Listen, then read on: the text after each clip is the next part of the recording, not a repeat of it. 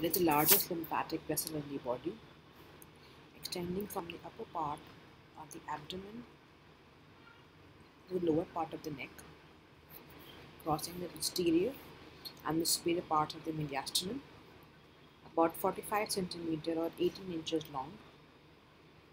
It has a beaded appearance because of the presence of many valves in the lumen. The thoracic duct begins as a continuation of the upper end of the cisterna chyli near the lower border of the 12th thoracic vertebra and enters the thorax through the aortic opening of the diaphragm. It then ascends through the posterior mediastinum from the level of 12th thoracic vertebra the fifth thoracic vertebra, after which it crosses from the right to the left side. Then it courses through the superior mediastinum along the left edge of the esophagus, is the esophagus, and reaches the neck. In the neck, it arches laterally at the level of the transverse process of the seventh cervical vertebra.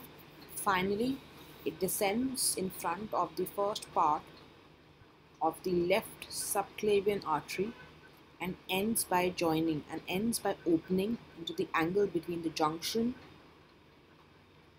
the junction between the left subclavian and the left internal jugular veins.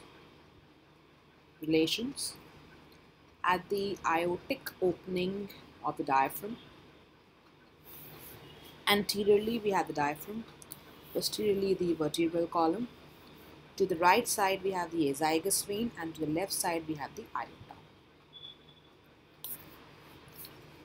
In the stereomediastinal relations over here, anteriorly the diaphragm, esophagus, the cut end of the esophagus, the right pleural recess.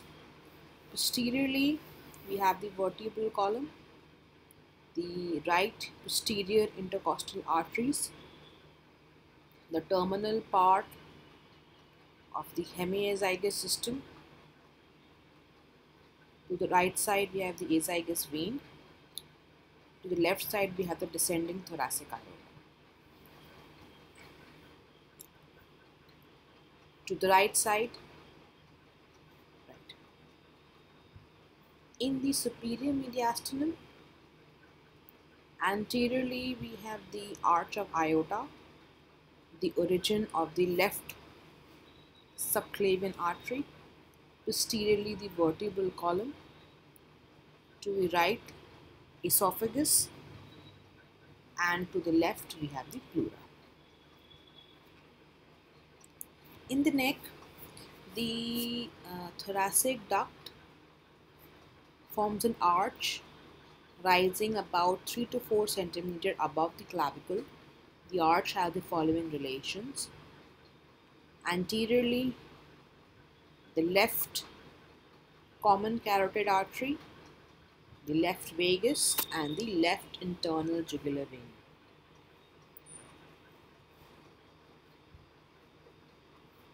Posteriorly, the vertebral artery and the vein, not over here.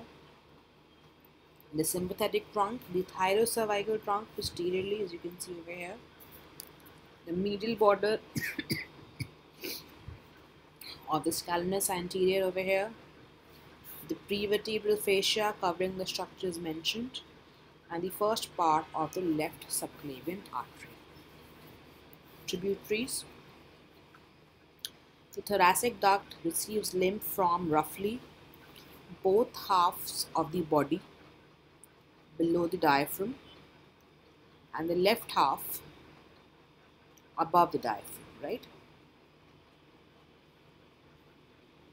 In the thorax, the thoracic duct receives lymph vessels from the posterior mediastinal nodes and from small intercostal nodes. At the root of the neck, efferent vessels of the nodes in the neck form left jugular trunk and those from nodes in the axilla from the left subclavian trunk. Right. So this is the area drained by the right lymphatic duct. The left bronchomediastinal trunk drains lymph from the left half of the thorax and ends in the thoracic duct. On the right side, there is a right lymphatic duct into which the right bronchomediastinal, right jugular, and the right subclavian lymph trunk, trunks drain. The right lymphatic trunk ends in the right brachiocephalic vein at the junction of the right subclavian and the right internal.